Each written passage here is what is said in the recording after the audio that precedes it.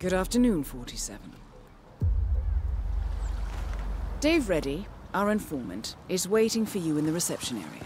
If you like, he can lead you to a meeting where Faber will be in attendance. What you do from then on is up to you.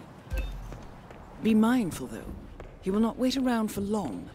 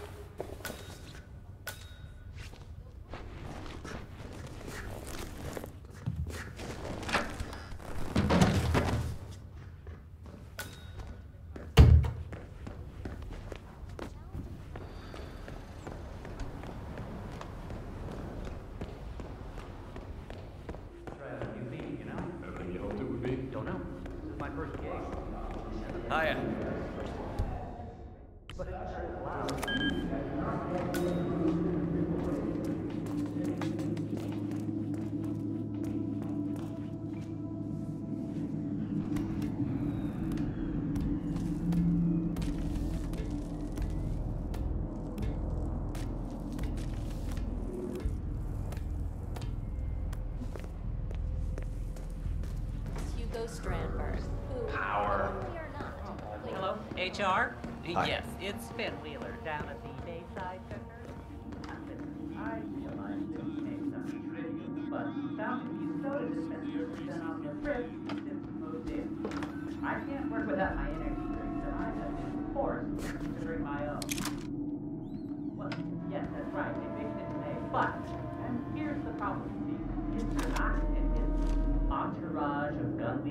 violence managed to empty the machine in one hour. I need to find.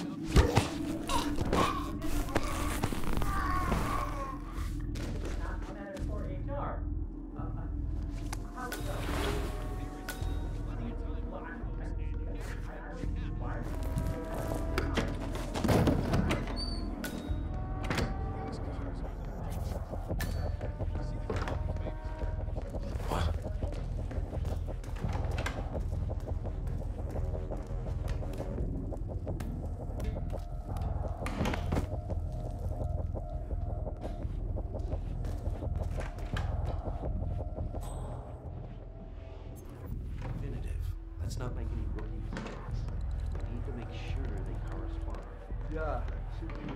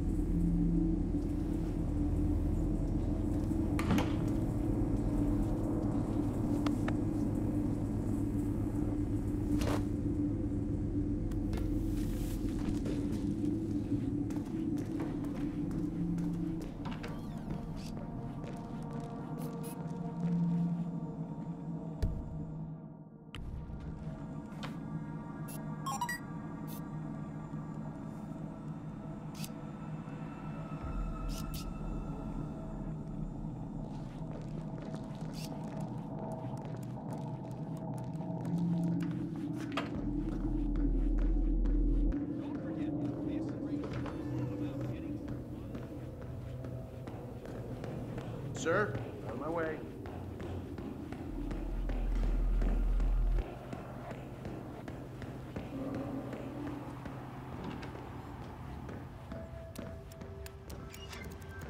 You don't look at all like I expected.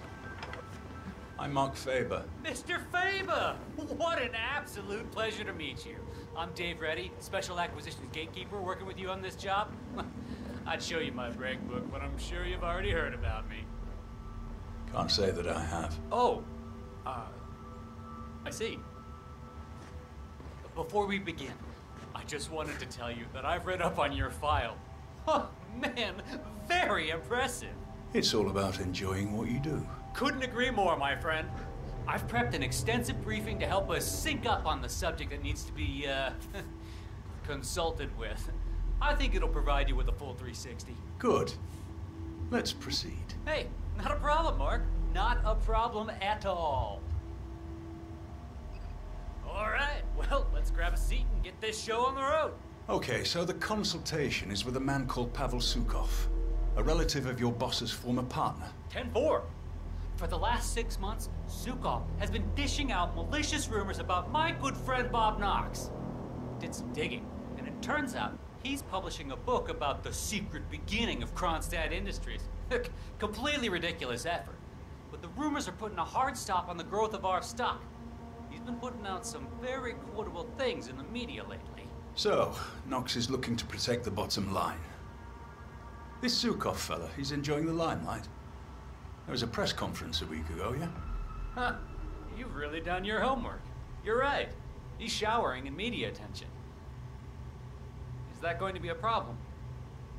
On the contrary, I prefer public consultations. Nowhere better to hide than in the middle of a spectacle. Well, then this is your bluebird, my friend.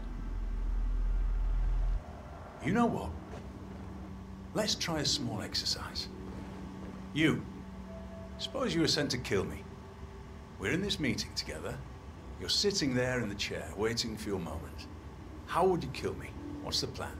You've been drinking quite a lot of coffee. Yes. Fast-acting poison. Emetic. About five seconds from ingestion to reaction. Follow you to the bathroom. Drown you. Terrible accident. Gruesome. But I survived worse than that. What else? Cause a small distraction.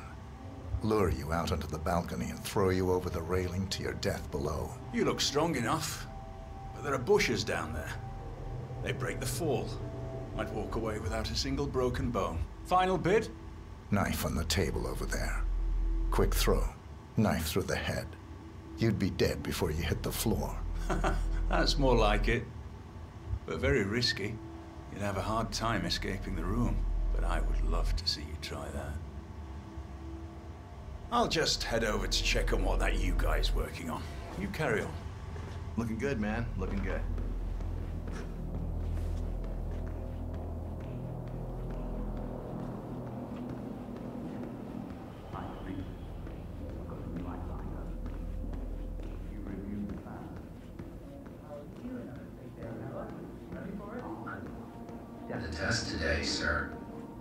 Feel Hey, good to see you, man.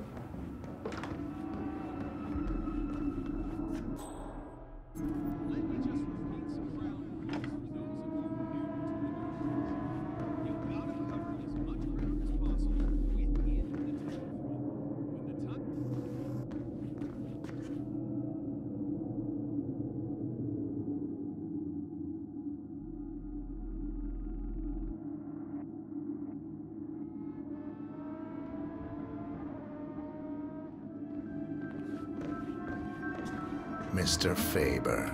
Yes. You're the weapons designer. Absolutely. Smashing. Let's have a look at what you've got.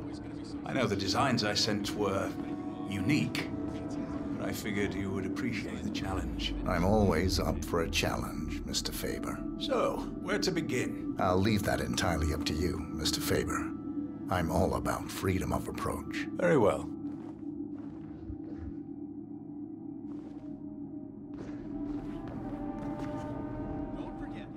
For help.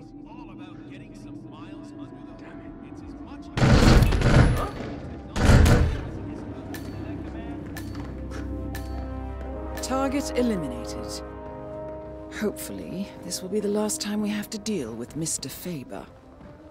The money is being transferred now, 47. Time to find an exit. Looking good, man.